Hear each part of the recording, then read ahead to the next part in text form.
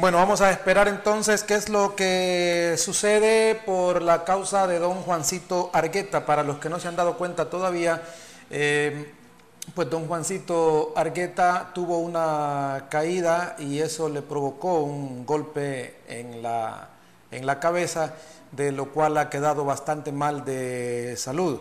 Eh, un saludo a usted, profesor Naum Benavides, y los que nos están viendo por ahí. Estamos a la espera de lo que pueda suceder, de lo que pueda generarse para aportar con la causa de don Juancito Argueta, todos los que se quieran unir, la gente que está en Estados Unidos, aquellos que son parte del Fuerte San Francisco, los que han sido parte del equipo, es decir, todos deben unirse porque aquí es donde se ven los amigos. Eh, dicen que en las enfermedades y en la cárcel ahí es donde se ven los amigos, aunque sabemos que en la cárcel es totalmente diferente, pero bueno. Tenemos ya aquí el material, se me fue mi querido Johan, aquí está el material ya, vamos a tratar de ver así en, así como lo traemos, por lo menos hemos tratado de, ver las mejores jugadas, vamos a ver los dos goles y lo que dijeron al final los protagonistas, porque pues es la, lo que tenemos para ustedes. Bueno, eh, Fuerte San Francisco lleva de tres partidos, dos victorias, un empate y eso dice o habla muy bien del equipo. La carpeta es ya, mi querida Roxy. Así que ya, cuando usted la tenga, ahí me dice ya. Eh, dos victorias frente al Platense y frente al equipo del Firpo. Y ahora con Jocoro las cosas fueron diferentes. Nosotros lo platicábamos y decíamos, bueno, con Platense y con el equipo de Firpo, Fuerte San Francisco lógicamente se vio superior, pero ahora con Jocoro el partido fue parejo, y hay que decirlo, fue muy parejo.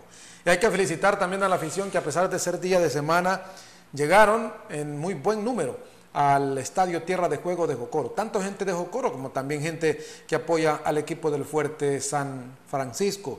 Y un día de semana donde todo el mundo termina sus labores a las 3, 4 de la tarde, pero ahí estaba la gente hoy viendo un buen fútbol, porque el partido si es, si bien es cierto, no fue un partido vistoso, pero fue un partido lleno de emociones, porque pues eh, llegaron ambos equipos a buscar el resultado.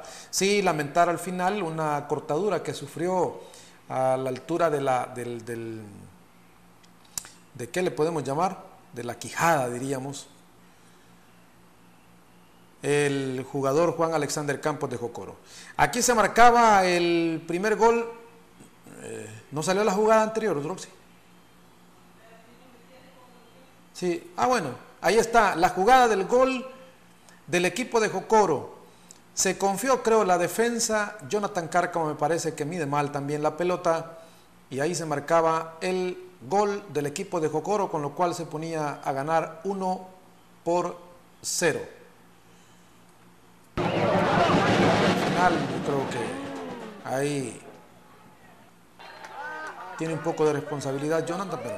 Y luego el penal Aquí el penal que marca sobre Kelvin Argueta, que lo llega a cobrar Andrés Vallecí. El colombiano le pega fuerte al centro. Adivina Julián Chicas, el portero del equipo de Jocoro, pero no, no puede llegarle a la pelota. Vean ahí. Adivina.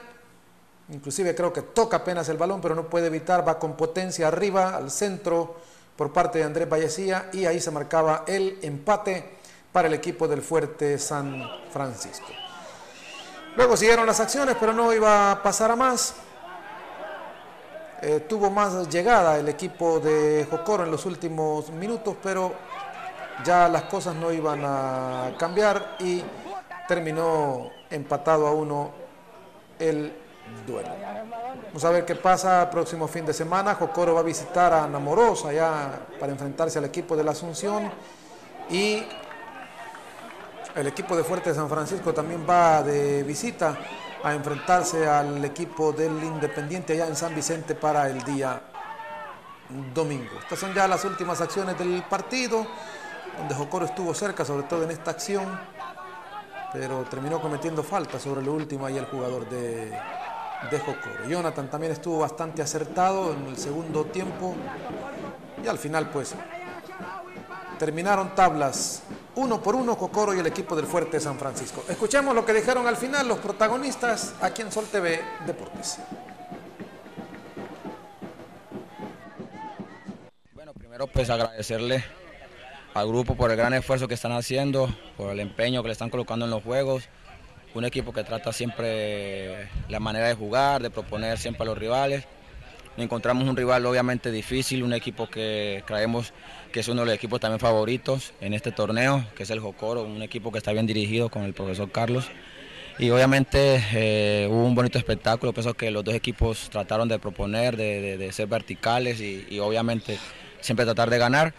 Y bueno, lo importante es que nos llevamos un punto, una cancha difícil como, como es venir aquí a la cancha de Jocoro, con un rival sabemos que es complicado, que juega muy bien al fútbol y bueno, vamos contentos, agradecidos obviamente por el trabajo de los muchachos, porque ellos están, están esforzando cada día, cada entrenamiento y bueno, lo están demostrando en el terreno de juego. Se ve el fruto del trabajo, profe, en tres salidas a la cancha, dos victorias y un empate esta tarde. Sí, bueno, se ve el fruto, ¿cierto?, del esfuerzo de los muchachos, de las ganas que le están poniendo. Y obviamente, como te digo, esto es gracias al trabajo, no hemos ganado nada todavía, pues consideramos que todavía falta muchísimo ¿cierto? Todavía falta mucho camino y bueno, ahora vamos a ir paso a paso. Cada partido es un es una película diferente, es un partido diferente, así que obviamente ya sabemos que ahora vamos pensando Independiente, un equipo difícil que es el campeón. Por la naturaleza del partido, lógicamente fue trabado de principio a fin, ¿no? Sí, es clásico, acuérdense que son clásicos de aquí, esta zona, y obviamente todos le ponen toda la gana, todo el empeño, nadie quiere perder y como te digo, lo importante es que sacamos un resultado bueno en una cancha difícil con un gran equipo. Tendrá nada más un par de días, un par de sesiones, profe, para preparar el juego del próximo fin de semana frente al Inde. Sí, ahora estamos pensando ya en Independiente, ahora que se les va a dar descanso a los muchachos mañana, mañana jueves van a descansar y retomamos el viernes en la mañana y el sábado en la mañana para ya estar pensando ya en el juego contra Independiente, que sabemos que es una cancha complicada, un terreno muy difícil, no se puede jugar mucho, Así que vamos a plantear pues qué, qué vamos a hacer allá, cómo vamos a tratar de obviamente contrarrestar a esos equipos que sabemos que tienen muy buenos jugadores con mucha calidad. Y bueno, tratar de irnos a traer un punto favorable allá. Obviamente vamos pensando en ganar, pero como siempre les digo, si no se puede ganar no hay que perder. A pesar de qué día de semana la afición estuvo aquí esta tarde, profe. Sí, como te digo, es un clásico de la zona y obviamente sabemos bien eh, eh, la previa antes de un juego contra Fuerte y Jocoro. Y bueno, pienso que hoy vino vino bastante gente de, de, de de, de Gotera y obviamente la gente que es de aquí de Jocoro, para un, pues, un espectáculo creo que agradable, pero creo que el equipo trató de jugar igual que el, otro equipo rival y bueno, lo importante es que se llevó un empate eh, en una cancha complicada. Bueno, la verdad que es un partido difícil, creo que era de esperarse, de jugar un partido así de esta naturaleza y eh, creo que los dos equipos, los dos equipos siempre propusimos jugar fútbol. Eh, independientemente de eso, pues los obligados a ganar siempre éramos nosotros, por la presión que existe de ganar, eso es normal. Y había un fuerte un poquito más suelto, más dinámico, eh, claro, sin la presión de, perder de, local, sino que ya jugar de visita es muy diferente a jugar de local y creo que eso es un factor que siempre va a influir. El partido en términos generales fue parejo, profe, hay que decirlo, trabado en el medio campo, con llegadas, pero al fin y al cabo quizás el marcador es justo. Pues no sé si sea justo o no, porque no sé de dónde el árbitro pita un penal que nunca existió, porque si un penal lo tienen que pitar es porque en una jugada que sea extremis y tenga que expulsar al jugador para pitar un penal. Pues no sé de dónde se inventa un penal en una jugada normal, en, un, en una acción de, normal de fútbol, donde los dos jugadores, incluso no hay ni siquiera mala intención del, del jugador de Jocoro, no sé de dónde se saca el penal, pero bueno, eh, son cosas que ellos deben de tener más personalidad para pitar un juego. Creo que el central ahora le pesó este juego no tanto lo que hizo Jocoro, lo que hizo Fuerte, sino el, arbitraje tiene que venir de acuerdo a lo que se va a dar. Un partido como este, eh, una rivalidad como esta, un clásico como este, un clásico morazánico, tienen que venir árbitros donde tengan mayor personalidad. Bueno, profe, el partido se mostró, se evidenció más bien que los dos equipos están queriendo hacer mejor las cosas este torneo. Lógicamente, torne eh, Jocoro con la continuidad del anterior. ¿no? Y claro, o sea, es un torneo clausura y todos sabemos lo difícil, lo duro que es. Ahora eh, no hay que bajar del, de, demostrar todo ese carácter, la entrega, el sacrificio, el compromiso que hay y por supuesto después jugar fútbol, que eso es lo más bonito, lo más importante consideramos que hubieron pasajes buenos de, de, juego donde el primer tiempo fue para nosotros y el segundo tiempo considero que fue más para Fuerte San Francisco.